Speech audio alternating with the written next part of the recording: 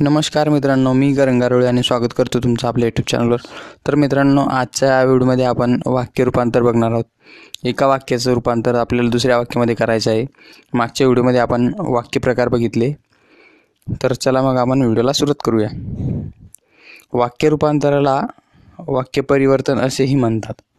आपण बोलत असताना एकाच स्वरूपाचे वाक्य बोलत असतो आणि ते आपल्याला कंटाळवाणी वाटतात कारण एक एकसारखी वाक्य आपण नेहमी नेहमी ऐकू ऐकू बोर होतो किंवा कंटाळवाणी होतात ते. शिवाय त्यातून योग्य भाव पोहोचलाच असे वाटत नाही. तद्वतच लेखकाने एकाच साच्याची वाक्य लिखाणात वापरली तर वाचणाऱ्याला कंटाळायला कंटाळा येतोय. आपल्या बोलण्यातून लिहिण्यातून भाषेचा डौल भाषेचे सौंदर्य व्यक्त व्हावे असे वाटत असेल. तर छोट्या छोट्या वैविध्यपूर्ण वाक्यातून आपली भाषा डौलदार व परिणामकारक होईल असा प्रयत्न करावा. वाक्य रूपांतराची क्षमता आत्मसात करण्यासाठी वाक्य रूपांतर करायला शिकणे सह्या सहाय्यभूत ठरते. आणि हो वाक्य रूपांतर म्हणजे वाक्यरचनेत करावा लागणारा बदल होय. हा बदल करताना एक महत्त्वाची गोष्ट लक्षात ठेवायला हवी.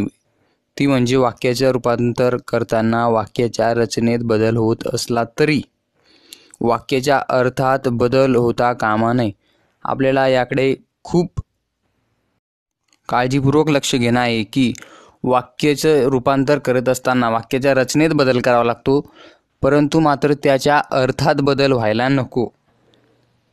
हे त्यांनी हेडलाईनमध्ये दिलेलं आहे आणि आता उदाहरण बघूया एखादं. आणि हो वाक्य वाक्यार्थाला बाद न आणता वाक्याच्या रचनेत केलेला बदल म्हणजे वाक्य रूपांतर होय.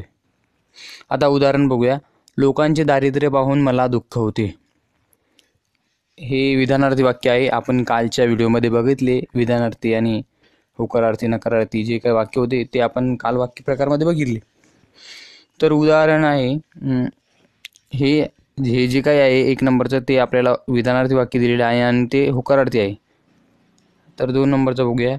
लोकांचे दारिद्र्य पाहून मला आनंद होत नाही. नाही आलं म्हणजे नकारार्थी वाक्य आहे. विधानार्थी वाक्यामध्ये म्हणजे होकार आणि नकार असतो.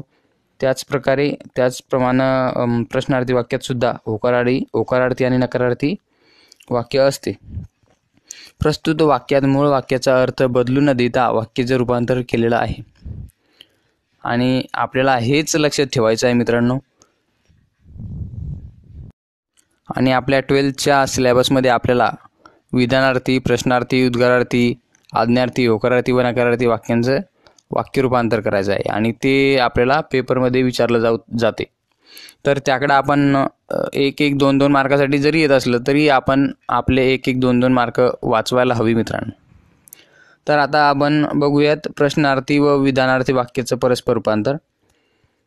जगात सर्व सुखी असा कोण आहे? हे प्रश्नार्थी वाक्य आहे कारण प्रश्नार्थक चिन्ह आपल्याला दिसत आहे. तर आता खाली खालील विधानार्थी वाक्य बघू. जगात सर्व सुखी असा कोणी नाही. आणि दुसरं उदाहरण बघूयात आपण. अपमान केल्यास कुणालाही कुणाला राग येत नाही. तर त्याचं विधानार्थी वाक्य बघूयात. अपमान केल्यास प्रत्येकाला राग येतो. तर हे जे दोन उदाहरणं दिलेले आहेत आपल्याला तर त्यामध्ये आपण लक्षात घ्यायचं की प्रश्नार्थी वाक्याचं जेव्हा विधानार्थी वाक्य आपल्याला करायचं असतं तर तेव्हा जे होकारार्थी प्रश्नार्थी वाक्य असतं तर त्याला आपल्याला नकारार्थी विधानार्थी वाक्यामध्ये कन्वर्ट करावं लागतं. आणि जर दोन नंबरचा बघा आता तर ते न प्रश्न जे काही प्रश्नार्थी वाक्य आहे ते नकारार्थी आहे. तर त्याचं आपल्याला होकारार्थी वाक्यामध्ये विधानार्थी वाक्य तयार करायचं आहे. नसेल कळलं तर एकदा खाली आपण बघून घेऊया. वरील उदाहरणात जे प्रश्न विचारले आहेत ते उत्तराच्या अपेक्षेने विचारलेले प्रश्न नाहीत. अशा प्रकारच्या प्रश्नांमध्ये त्यांचे उत्तर दडलेले असते. अशा प्रश्नार्थक वाक्यांचे विधानार्थी वाक्यात रूपात रूपांतर करत असताना लक्षात ठेवायचं. प्रश्न जर होकारार्थी असेल तर विधानार्थी वाक्य हे नकारार्थी करावं लागतं. आणि दोन नंबरचं. प्रश्न जर नकारार्थी दिलेला असेल तर त्याला होकारार्थी करावं लागतं आपल्याला. तर लक्षात आलं असेल. आता आपण बघूयात उद्गारार्थी वाक्याचं विधानार्थी वाक्यात रूपांतर कसं करायचं. तर खालील उदाहरणाकडे एकदा नजर टाकूयात. बापरे केवढी उंच आहे ही इमारत. म्हणजे हे उद्गारार्थी वाप वाक्य दिलेलं आहे आपल्याला. तर याचं कन्वर्जन आपल्याला विधानार्थी वाक्यात करायचं आहे म्हणजे स्टेटमेंटमध्ये करायचं आहे. तर ही इमारत खूपच उंच आहे. हे झालं त्याचं विधानार्थी वाक्य. म्हणजेच उद्गारार्थी वाक्याला विधानार्थी वाक्यात आपण कन्वर्ट केलं तर त्यामध्ये कर्ता कर्म क्रियापद हे जे काही आहे ते तुम्ही बघू शकता. ही इमारत इकडं शेवटी होती उद्गाराच्या वाक्यात. तर ती फर्स्ट साईडला आली करता म्हणून. आणि जी इकडं क्रियापदाची ब आदला बदली होती तर ती सिंपल स्टेटमेंटमध्ये तुम्हाला माहीतच असेल अरेंजमेंट कशी असती. करता कर्म आणि क्रियापद. तर आता दुसरं उदाहरण बघूया. काल रात्री ढगांचा खूप गडगडाट झाला. म्हणजे हे सिंपल स्टेटमेंट आहे विधानार्थी वाक्य. कर्ता कर्म आणि क्रियापद. आता हे उद्गारार्थी वाक्यात आपल्याला कन्वर्ट करायचं आहे. तर चला मग किती गडगडाट झाला ढगांचा काल रात्री हे झालं उद्गारार्थी वाक्य. तर आता एकदा खाली बघून घेऊयात आपण. उद्गारार्थी वाक्य अधिक परिणामकारक वाढतात कारण एखाद्या गोष्टीतील आधिक्य परिणाम मोठी संख्या विपुलता परिणामकारकतेने त्यात व्यक्त केलेली असते. म्हणजेच आपल्याला हे माहिती आहे की उद्गारार्थी वाक्य हे परिणामकारक असतात. कारण त्यामध्ये आधिक्य परिणाम मोठी संख्या विपुलता हे परिणामकारकतेने दाखवले द दाखवण्याचा प्रयत्न केलेला असतो. तर पुढे जाऊयात आता. विधानार्थी वाक्यात कोणत्या गोष्टीची कोष कोणत्या गोष्टीची विपुलता स्पष्ट करायची आहे? ते स्पष्ट करावे. त्यासाठी खूप प्रचंड भरपूर यासारखे शब्द यामध्ये वापरले जातात. तर आता आपण वळूयात. आद्यार्थी व विधानार्थी वाक्यांचे परस्पर रूपांतर. तू नियमित व्यायाम कर. हे झालं आज्ञार्थी वाक्य. आणि त्याच आज्ञार्थी वाक्याला आपल्याला बदलायचं आहे विधानार्थी वाक्यामध्ये. तर विधानार्थी वाक्यामध्ये हे वाक्य असे होईल. तू नियमित व्यायाम करावास.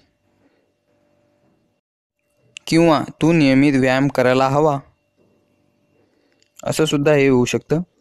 आणि आता दुसरं उदाहरण बघूयात. ज्ञान संपादनासाठी भरपूर वाचन करावे हे झालं विधानार्थी वाक्य. ज्ञान संपादनासाठी भरपूर वाचन करा हे झालं आज्ञार्थी वाक्य. तर आज्ञार्थी आणि विधानार्थी वाक्यामध्ये आपण लक्षात ठेवायचं की आज्ञार्थी वाक्यामध्ये आज्ञा अभिप्रेत असते आणि विधानार्थी वाक्यामध्ये विधान सरळ स्पष्ट दिलेलं असतं. तर आता आपण वळूयात होकारार्थी व नकारार्थी वाक्यांकडे. आणि म्हणजेच होकारार्थी वाक्याचं नकारार्थी वाक्यात रूपांतर करायचं नकारार्थी वाक्याचं होकारार्थी वाक्यामध्ये रूपांतर करायचं. आणि हे खूप सोपं आहे. तुम्हाला येतही असेल कदाचित. तर उदाहरण पहिलं बघूयात. त्याच्यासाठी हजार रुपये ही देखील मोठी रक्कम आहे. हे झालं होकारार्थी वाक्य. तर त्याचं नकारार्थी वाक्यात करायचं म्हटलं तर त्याच्यासाठी हजार रुपये ही काही लहान रक्कम नाही. म्हणजेच या ठिकाणी होकारार्थी नकारार्थी वाक्यामध्ये आपल्याला माहिती आहे की अपोजिट शब्द वापरायचा. आता या ठिकाणी मोठीची मोठी रक्कमच्या अपोजिट जो काही शब्द आहे तर तो अपोजिट शब्द आहे त्याचा लहान रक्कम. तर हे लक्षात लक्षात घेऊन टाकाय आता दोन नंबरचं उदाहरण बघूया. ही काही वाईट कल्पना नाही. म्हणजे हे नकारार्थी वाक्य आहे. तर याचं होकारार्थी वाक्य करताना वाईट चांगले हे आपल्याला माहिती मग ही कल्पना चांगली आहे. हे त्याचं होकारार्थी वाक्य होईल वरील उदाहरणामध्ये मोठी विरुद्ध लहान आणि वाईट विरुद्ध चांगली असे विरुद्धार्थी शब्द वापरल्यामुळे वाक्याचा मूळ अर्थ बदलत नाही. आणि आपल्याला वाक्य रूपांतर करताना हेच लक्षात ठेवायचं आहे की वाक्याची रचना बदलली तर चालेल आणि बदल ब रचना ही बदलतच असते. परंतु मात्र वाक्याचा अर्थ हा बदलला नाही पाहिजे कारण अर्थच जर बदलला तर त्याला वाक्य रूपांतर नाही हो, म्हणता येणार. तर या ठिकाणी काही उदाहरणं आहेत तर ते थोड्या वेळात आपण बघून घेऊयात. आणि हो पेपरमध्ये तुम्हाला असेही प्रश्न विचारू शकतात. जसं की आपल्याला या ठिकाणी दिलेलं आहे. किंवा तक्ताही देऊ शकतील. तर आपण आपल्याला कसंही दिलं तर आपल्याला आलं पाहिजे. आता उदाहरण एक इकडे वळूयात आपण. सकाळी फिरणे आरोग्यास हितकारक आहे. याचं नकारार्थी वाक्य करायचं आहे. हे झालं विधानार्थी वाक्य. म्हणजेच याचं नकारार्थी वाक्य करताना आपल्याला अपोजिट शब्द वापरायचा आहे. मग मग मग चला तर. सकाळी फिरणे आरोग्यास अपकारक नाही. झालं. तर आता दुसऱ्या वाक्याकडे वळूयात. तुम्ही काम अचूक करा. हे झालं. आज्ञार्थी वाक्य. तर आता या याचं आपल्याला विधानार्थी वाक्य करायचं आहे. तर तुम्ही सर्वांनी अचूक काम करावे किंवा तुम्ही काम अचूक करावे. हे झालं विधानार्थी वाक्य. आता तीन नंबरचा बघूयात. किती सुंदर आहे ही पाषाण मूर्ती. ही आहे उद्गारार्थी वाक्य. तर याचं विधानार्थी वाक्यात रूपांतर करायचं आपल्याला.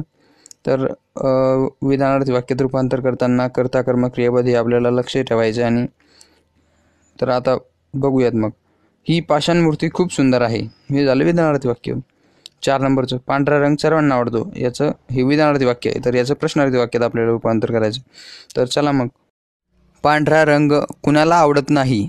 हे झालं याचं प्रश्नार्थी वाक्य. म्हणजेच काय? सर्वांना आवडतो. आता पाच नंबरचं उदाहरण बघूया. चैनीच्या वस्तू महाग असतात. होकारार्थी नकारार्थीमध्ये काय लक्षात ठेवायचं? विरुद्धार्थी शब्द.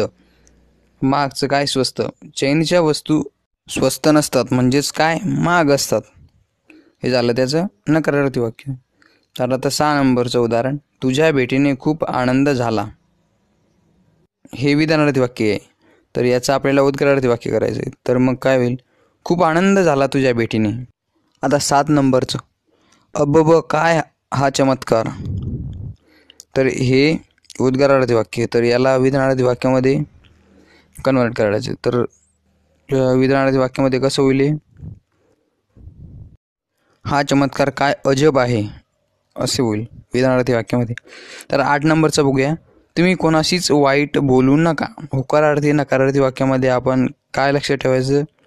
वाईट आणि चांगलं म्हणजेच काय? विरुद्धार्थी शब्द.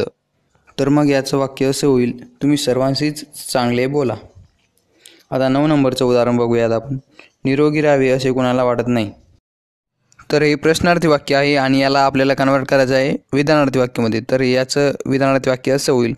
निरोगी राहावे असे सर्वांनाच वाटते. आता दहा नंबरचं उदाहरण बघूया. दवाखान्यात मोठ्या आवाजात बोलू नये. म्हणजेच दवाखान्यात हळू आवाजात बोलावे. याचं होकारार्थी वाक्य असं होईल. तर आय होप मित्रांनो तुम्हाला कळले असेल. नसेल कळालं तर कमेंट बॉक्समध्ये मला कमेंट करा. आणि व्हिडिओ आवडला तर व्हिडिओला लाईक आणि चॅनलला सबस्क्राईब करायला विसरू नका.